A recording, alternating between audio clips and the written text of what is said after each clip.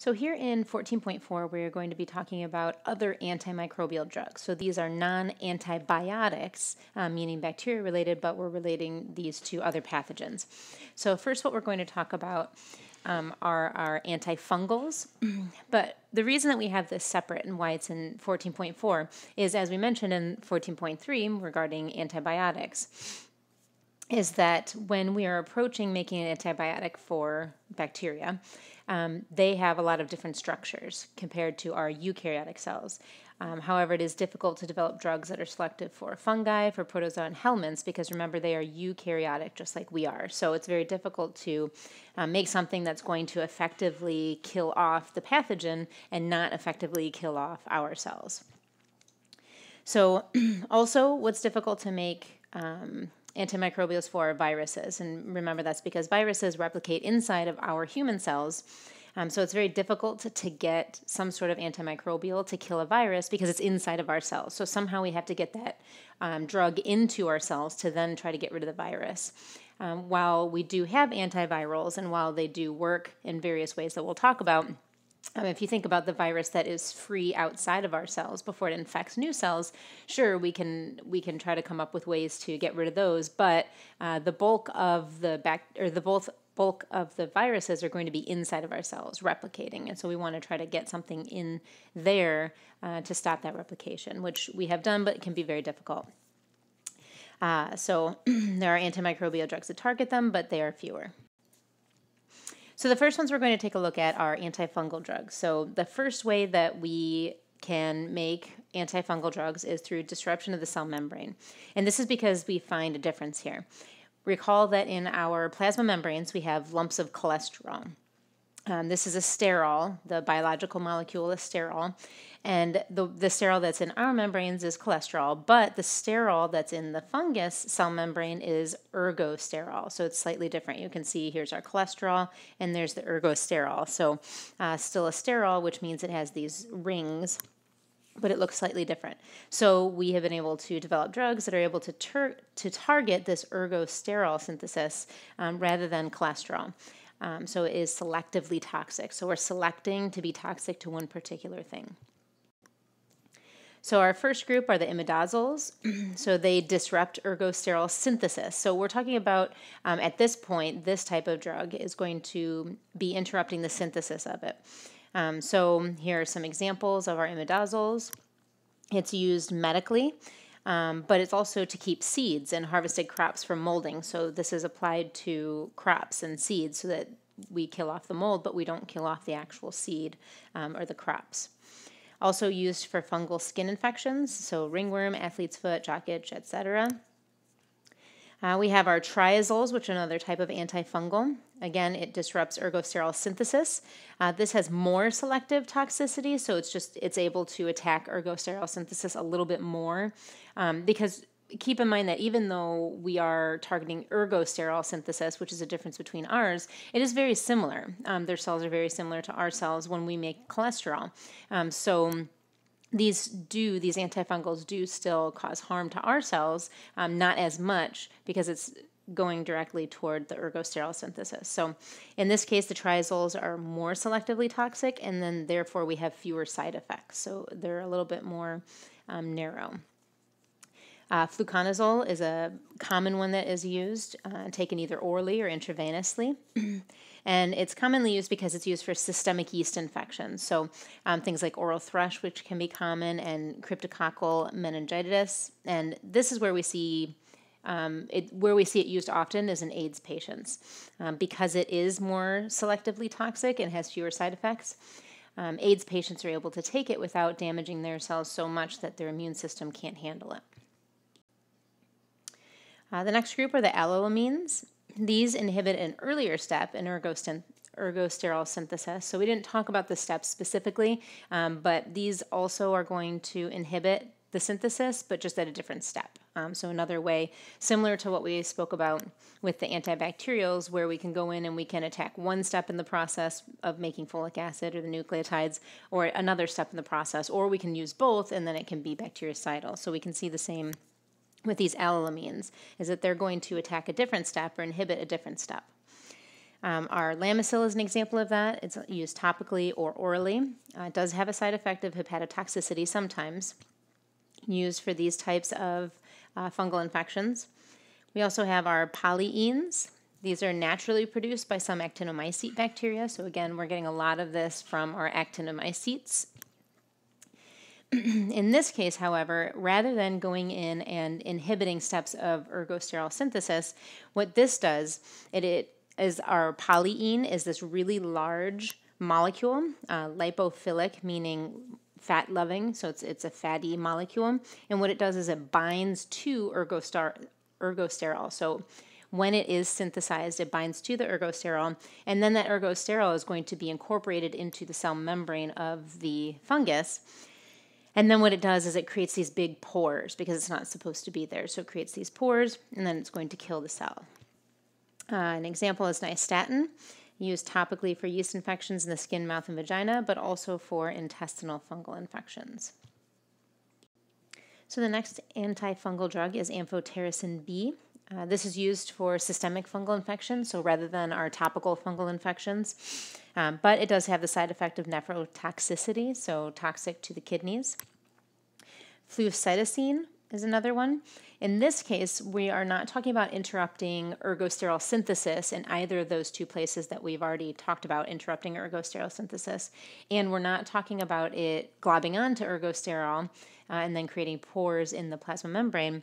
But in this case, with flucytosine, what has happened is when the antimicrobial, the antifungal, gets into the cells, it's actually converted by one of the fungal enzymes into a toxic product. And then this toxic product, when it's inside of the cell, is going to interfere with DNA replication and also with protein synthesis. Um, so, a lot of times this is used with amphotericin B. Uh, so, the amphotericin B can get uh, in the system, throughout the system and then the flucytosine, um, while it can also go throughout the system, is going to hopefully get inside of the cell and then stop that DNA replication and protein synthesis so that it's um, not able to reproduce. Um, so, one that can go in and kill off the cells, and then the other one that's going to slow it down. Again, there are side effects, however, with nephrotoxicity, um, but then also bone marrow depression, so decreasing of that bone marrow. so some other um, antifungal drugs are echinocandins. These echinocandins are actually going to block the synthesis of beta glucan. Uh, beta glucan is something is a molecule that we find in fungal cell walls. Um, we don't have human cell or we don't have cell walls on our cells, so that is a big difference between even though they're a eukaryotic cell. Remember, um, they actually have cell walls. Remember, it's made up of chitin, um, and then we have this beta glucans. Uh, so in this case, our echinocandins are going to go in and they're going to block the synthesis of the beta glucan in that cell wall. And if it's not able to make beta glucan, then it's not able to make the cell wall, and then the cell will die. Um, an example of that is caspofungin. So that's used to treat aspergillosis and a systemic and systemic yeast infection. So uh, somebody takes that. So the idea is that it's going to affect that beta glucan, so it can't even make the cell wall. So down here at the bottom of the uh, screen, I think is a, a nice uh, general overview of some of the ways that we can affect um, fungal cells. Um, just kind of touching on some of them. We're going to talk more about them, but inhibiting DNA and RNA synthesis. So we just spoke about flucytosine and how it gets in there and affects that. Um, and then what we're going to talk about next is this disruption of microtubule function. The griseofulvin um, is going to get inside the cell, and then we have our microtubules. Remember, that's part of our cytoskeleton. It's going to affect the cytoskeleton of um, the fungal cells, and that will cause them to, to have issues and then also inhibit mitochondrial function. Um, naphthoquinone is going to go in and affect the mitochondria. So its inability to make ATP and then make copies, of, um, or have the energy to then go through and make copies of itself and make more cells. Um, so even though the image down here, the reason that I brought it up was really to kind of take a look at this to remember um, that we have our plasma membrane down here. We show that ergosterol is down here instead of cholesterol. Um, and then we spoke about inhibiting er- ergosterol synthesis. Um, so that's down here as well. we talked about disrupting the plasma membrane with the polyenes. Um, and then next, we're also going to talk about inhibiting chitin synthesis with the polyoxins and nikkomycins. So here are the polyoxins and the nikkomycins. These, as was mentioned in the previous image, are going to target chitin synthesis. So remember in the cell wall, um, our fungal cells have a cell wall and they're made up of chitin. And so that again is a difference between our cells, so we're going to try to attack that. Our polyoxins are often used to control fungi in agriculture, so spreading it on crops and seeds and things to try to make sure that um, they don't have mold growth. And then we have nikkomycin Z uh, is for use in humans for yeast infections and then also for valley fever. Uh, we have griseofulvin. this interferes with the microtubules, as we said, that are involved in that spindle formation during mitosis. So it's part of the cytoskeleton, but then also, even more importantly, when it's trying to divide and make more copies of itself um, through that when we have that spindle formation to grab onto the chromosomes and pull them apart in mitosis.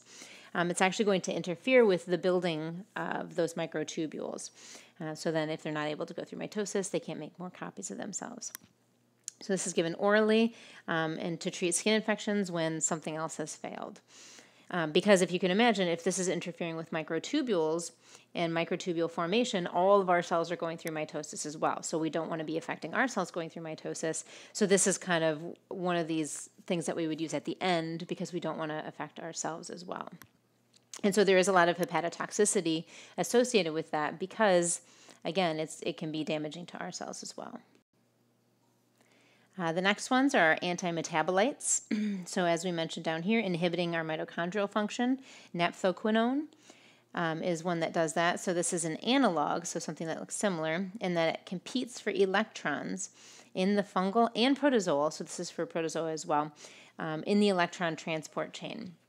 So, again, as we're making ATP and we're going through that electron transport chain in the mitochondria, this is going to compete for electrons. So if it's competing for electrons, it's stealing the electrons away from the electron transport chain, then we're not going to get that gradient. And if we don't get that gradient, we're not going to be able to make ATP, or rather, the fungus isn't. And so then, if it's not able to make ATP, then it's not able to divide and make more copies of itself. So, moving into antiprotozoal ju- drugs, we have antimetabolites. So, again, anti meaning against, and metabolic processes. So, in this case, we have atovaquone. This is going to block or going to block the electron transport. Um, in this case, it's used for uh, protozoa, but it's also antifungal. So um, we have that crossover used for these different um, things here. We have proguanil, which inhibits folic acid synthesis, so similar to the antibiotic that we spoke about, or the two antibiotics that we spoke about that are going to be blocking synthesis of folic acid. So this is similar, but it works with protozoa. So we can combine this with atovaquone for malaria treatment and prevention, and this is actually what Malarone is, which is the pharmaceutical that's sold uh, for malaria. Uh, we have artemisinin, artemisinin um, which is another antimetabolite. This is metabolized by target cells to produce a reactive oxygen species or an ROS. Remember ROSs um, that are going to damage the cells. So remember that our reactive oxygen species is something that we need that our cells have various enzymes to break down because it damages the cell. In this case, when we give this um, antiprotozoal drug, it's actually metabolized, and once it's metabolized, it actually produces reactive oxygen species so that it will damage the cell. Um, so we can use this for malaria as well. So used with other malarial drugs um, to increase the usefulness of malaria drugs because we see a lot of drug resistance in malaria drugs. Uh, we also have our nitroimidazoles. These become activated and then introduce breaks in DNA. Um, so as the antiprotozoal drug gets into the body, uh, or into the cell rather, not the body, but into the cell, then it's going to become activated in there, and then it's going to start breaking apart the DNA.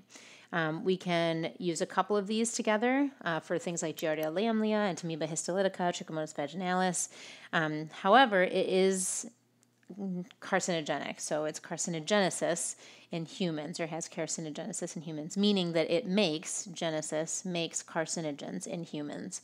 Um, so it is very dangerous, but again, if we have some of these issues, then we kind of want to balance those. And we can also see that balance when we're talking about dosage, for example.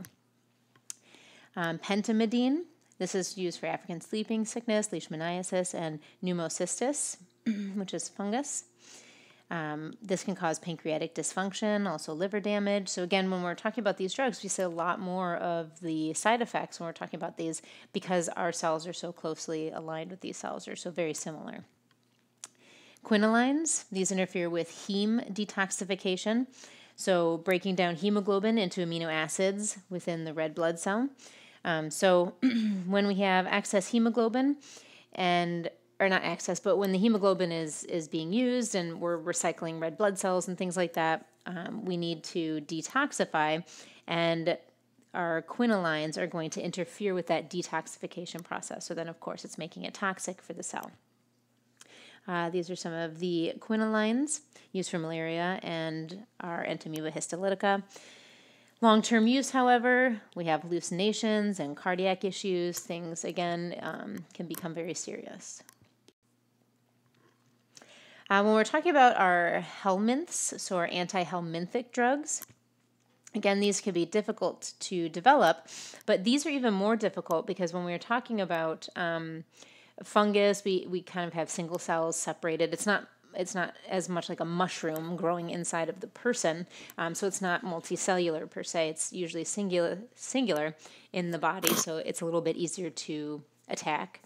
Um, same thing with protozoa being single celled, it's a little bit easier to attack. When we get to anti helminthic drugs, however, they have to somehow work around the fact that we have an entire multicellular eukaryote inside of a multicellular eukaryote um, and try to kill the one that's inside of the person without killing the person.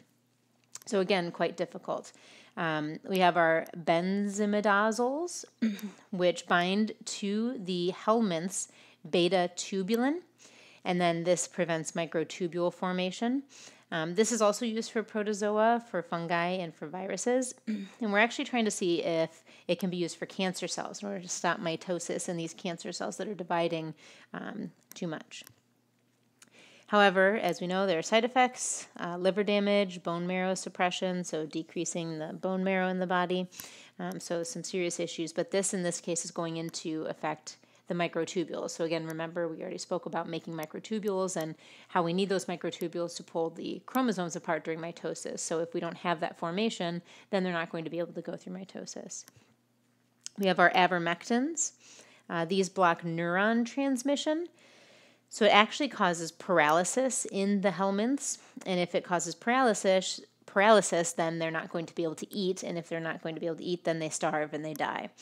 Um, and in this case, it's non toxic to humans. So uh, avermectins can be a very useful tool. Uh, we see these being used in roundworm uh, diseases and parasitic insects. Niclosamide is another one. It inhibits ATP formation. Uh, it builds in the intestines, so if it's going to inhibit ATP again, then there's a decrease in energy. A decrease in energy means that the organism is not going to continue living. Um, so we use these for tapeworm infections but it's recently been shown to be antibacterial, antiviral, and has some anti tumor activity. So, research is being done on those things as well. Uh, praziquantel is another anti-helminthic drug. In this case, what it does is it causes this huge influx of calcium into the worm, um, into the helminth. And when we have a huge influx of calcium, uh, remember, calcium is what is necessary in order to make our muscles move. We are part of the contraction process. So, in order, we need calcium because calcium is actually going to allow the one part of the muscle filament to attach to the other part of the muscle filament and then contract. So, if we have huge amounts of calcium and we never have that calcium go away, then we have constant contraction. If we have constant contraction, then we end up with these intense spasms and then paralysis. Um, so we have this for parasitic tapeworms, liver flukes, um, especially the blood flukes. It's used for tapeworms um, when niclosamide is causing GI distress. So when it's becoming a problem with GI distress, some intestinal issues, we can switch over to this. Thioxanthenones inhibit our RNA synthesis. So again, getting into the cell and inhibiting RNA synthesis. Um, schistosomiasis by S. mansoni only is when we use this. It's being developed, however, for two genera due to increasing resistance to praziquantel. Um, so even though praziquantel seems pretty great, we have this influx of calcium and causes paralysis, um, there is resistance being built up just like we see in bacteria. So then we are next going to switch over into our antiviral drugs. So the characteristics of viruses make it difficult to develop drugs with selective toxicity. Um, again, because they are an obligate intracellular pathogen. Um, they have to be inside of a cell in order to reproduce per se, um, meaning make copies of itself. And it also has a very simple structure, so there's not a whole lot of different ways that we can kind of attack it because it is such a simple structure. So we have some modes of action.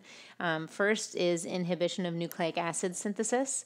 Um, so trying to stop them from making nucleic acids or using or pr- the production of nucleic acids, so they can't use them to make copies of themselves. Um, inhibiting the escape of the virus from the endosome. So recall that um, some viruses are brought into the cell in an endosome, and then once it gets into the cell in the endosome, that endosome has to be dissolved so that the uh, virus can then be inside of the cell. So, some of our modes of action in this case is to prevent that endosome from dissolving and allowing the bacteria or the uh, virus to get into the cell. Also, inhibiting neuraminidase. neuraminidase. Um, this is in the case of the flu virus, influenza virus enzyme. So first let's take a look at acyclovir, um, also known as Zovirax. So this is a synthetic analog of guanosine. So remember, guanosine is something is um, a part of a nucleotide, right? It's a, a piece of the nucleotide. And so if we're talking about an analog of guanosine, and we're talking about the actual chemical being an analog, then the virus is going to incorporate that instead of what it needs to incorporate. So it's activated by the herpes simplex virus. It's going to be added to the growing DNA strand um, because it looks like guanosine. And then what it does is it actually causes chain termination. So it's going to stop nucleic acid synthesis. So it's going to be trying to make its DNA. The, the virus is trying to make its DNA, but it keeps basically falling apart because it's adding the guanosine um, analog instead of actual guanosine. Uh, as far as specificity, it needs to be activated. so um, that is of benefit because we don't want this getting into all of our cells um, because then our own cells would be stopping DNA synthesis. So it has to be activated. And so we have it activated by the herpes simplex virus. So it's used for our herpes virus infections. Um, and it has an increased affinity by viral DNA polymerase. So our DNA polymerase doesn't grab onto it as much as it would grab onto the actual guanosine, fortunately. Um, and in this case, the viral DNA polymerase happens to grab that more often. It can be used topically or systemically, depending on the type of infection. Uh, side effect, however, is nephrotoxicity. So you can see on the right side here the image of this. On one here, the viral enzymes add a phosphate group to acyclovir. Um, then in two, the human enzymes add two more phosphate groups, producing acyclovir uh, triphosphate. This is kind of that activation part that we mentioned. So it goes in and it doesn't just act like itself, it has to be activated by adding these phosphate groups. Then in three, during viral DNA replication, the acyclovir is added to the growing strand rather than GTP. Uh, and then this is going to stop elongation and then it stops viral replication. Next is ribavirin. This is a guanosine analog also. It interferes with DNA and RNA synthesis, although we are not entirely sure how it is interrupting RNA synthesis. In this case, um, it's used for treatment for RNA viruses because it does interrupt RNA synthesis. So, for example, uh, hepatitis C virus, um, oftentimes along with interferon, and we'll talk about that, um, and respiratory syncytial virus. Side effects are anemia, developmental defects in an unborn child if someone takes it while pregnant, um, because again, it, it's decreasing RNA synthesis. It's affecting RNA and DNA synthesis in this case. Sofosbuvir, sofosbuvir is the next one, or Sovaldi. This is a uridine analog, so this interferes with the viral polymerase activity. So in this case, we're using uridine. Um, and then similarly, it's an analog, so it's going to grab onto this instead of grabbing onto what it needs to. Uh, often, administered with ribavirin, uh, with and without interferon. Um, the next ones are amantadine and rimantadine. So these bind to a transmembrane protein that's involved in the escape of the virus from the endosome. So this is one of the, the modes um, that we were talking about where recall that the virus comes in in kind of its own bubble, its own vesicle, which is the endosome, and then it has to be released from that endosome. In this case, it bind these bind to the transmembrane protein, the protein that's across the plasma membrane that's involved in releasing that virus into the cell. Um, so what it does then is it's blocking the release of that viral RNA into the host cell, and it blocks viral replication. However, there is an increase in resistance to these drugs um, because it's been used a lot for influenza A, um, so it's not working as effectively. Side effects can be neurological. uh, due to the effects on the brain chemicals like dopamine and MDA and MDA. Uh, they are used for treatments of for Parkinson's disease, so that's being looked at more closely um, because it is affecting our brain chemicals. As you can see, some of the side effects are neurological side effects, um, so that's actually being looked at to treat Parkinson's. Next is what we often think of as Tamiflu, um, and then also Zanamivir, uh, which is Relenza, and Permavir, or Peramivir, sorry. Um, these are going to block the activity of the influenza virus. Um, so, influenza virus neuraminidase. This prevents the release of the virus from the infected cells. So, um, rather than affecting the endosome and not letting it into the cell um, by keeping it in the endosome. In this case, the cell is, or the virus is still getting into the cell, it's still replicating, but it's blocking the ability for the virus to get out of the cell and go and infect other cells. Um, so this actually helps to decrease flu symptoms and shorten the illness because it's not actually going in and killing the different viruses, killing per se. Um, but what it's doing is it's stopping their release, and if we're stopping their release, then the body or the immune system can get rid of the viruses that are there outside of those cells, uh, and then we can get rid of the illness faster. Um, some of these are taken orally or inhaled or intravenously, and at this point, resistance is still relatively minimal.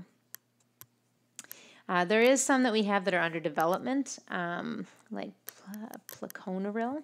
Uh, pleconaril is for life-threatening complications of enteroviruses, so meningitis, uh, sepsis, and also for polio.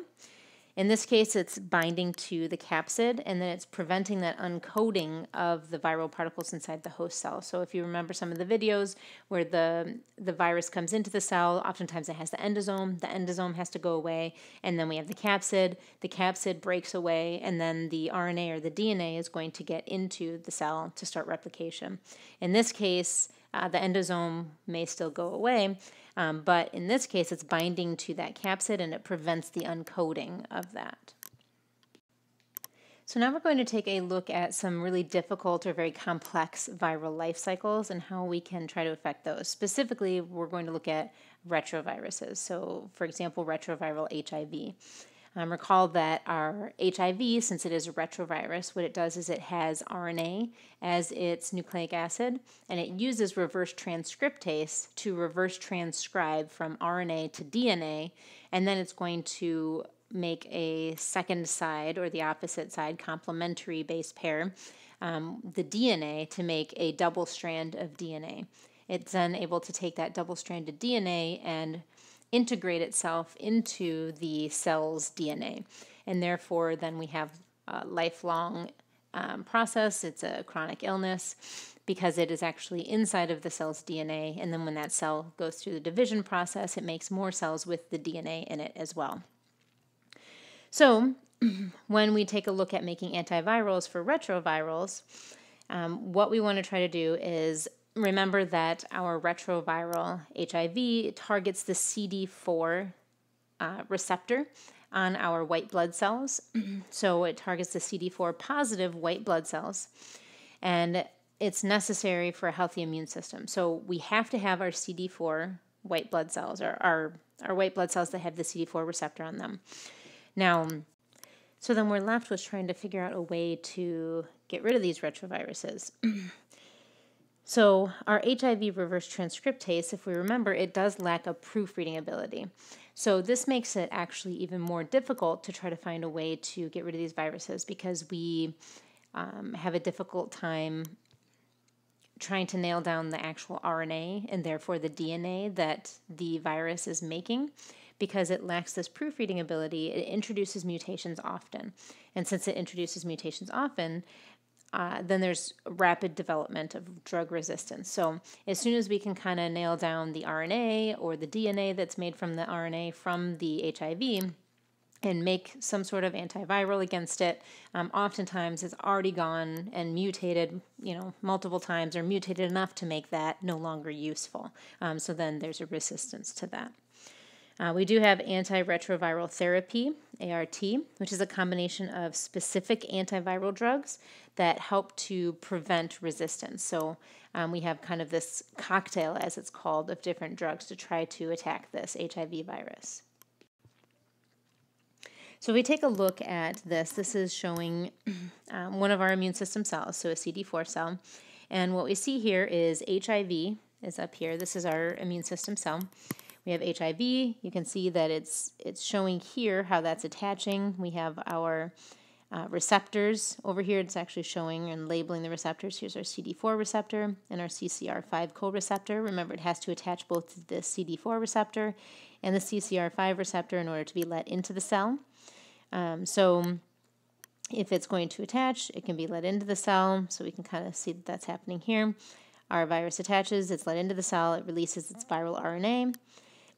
Now, when we are looking at different mechanisms, we're going to try to attack here at the reverse transcriptase level here. That's why there's an X here. So we have um, reverse transcriptase inhibitors that are trying to stop that process from making DNA. We also then have integrase inhibitors. And the integrase inhibitors, as you know, their the name implies, is going to inhibit them from integrating the DNA if it's gotten past the um, reverse transcriptase piece, prevent it from integrating into the host DNA. And then also over here on the right hand side, we have protease inhibitors.